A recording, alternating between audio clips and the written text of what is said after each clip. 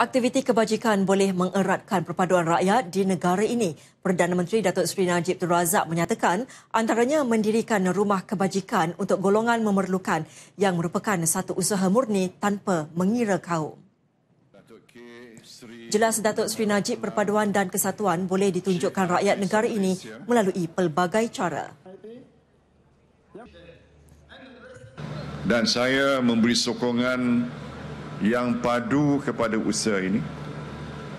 Lebih-lebih lagi, saya cuba nak promote moments of unity amongst Malaysians.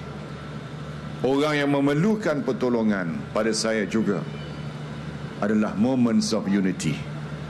Kerana kita membantu sesiapa yang memerlukan bantuan, kita dapat ganjaran. Pecah tanah rumah warga emas Pertubuhan Kebajikan Tiratana Desa Petaling di Ibu Negara.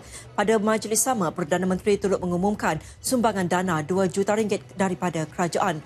Keseluruhan pembinaan projek bangunan lima tingkat itu dianggarkan berjumlah 12 juta ringgit bagi memberi perlindungan dan kebajikan kepada 180 warga emas. Projek ini bermula pada tahun 2012 dan sehingga kini berjaya mengumpul sumbangan sebanyak 4 juta ringgit.